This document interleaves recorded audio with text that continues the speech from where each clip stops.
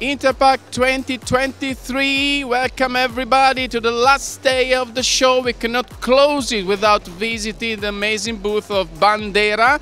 And we have the chance to exchange some words with Massimo Santini, Sales and Marketing Director of the company. How was the show for you, Massimo? Good morning, good afternoon, or good, evening, depending when are you listen this uh, interview. The show was very good. Uh, we got a lot of uh, customers to visit us. Uh, they came here and uh, was very nice days uh, in, in Interpack. Okay. What was the main focus for Bandera here at Interpack?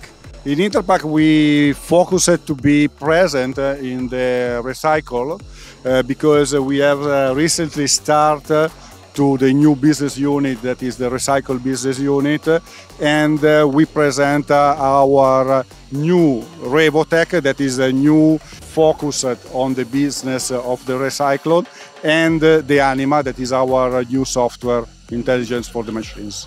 And what was the feedback you were having from the visitors? Uh, everybody were very excited to see that uh, Bandera is also entering the uh, post-consumer and post-industrial recycle, and the feedback was uh, positive.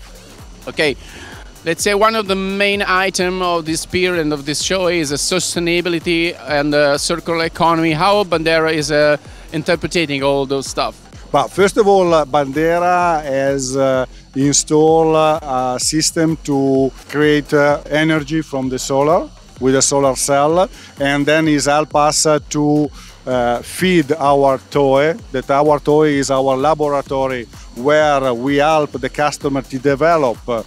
their new product yes. with our research and development and uh, we are totally focused on uh, recycling okay uh, generally speaking, the marketing is going in a good direction. Uh, what are you feeling for this 2023? I was going to close it. Uh, the 2023 for the blow film and recycle will be very great uh, year. Uh, we are more or less uh, close the year because we are talking about 2024. Uh, the mm, only the small uh, concern that we have on the market is on the flat die because as you everybody knows on our market the FSSAI has uh, some starting to present some limitation in the market and the customer is a little bit out of the range.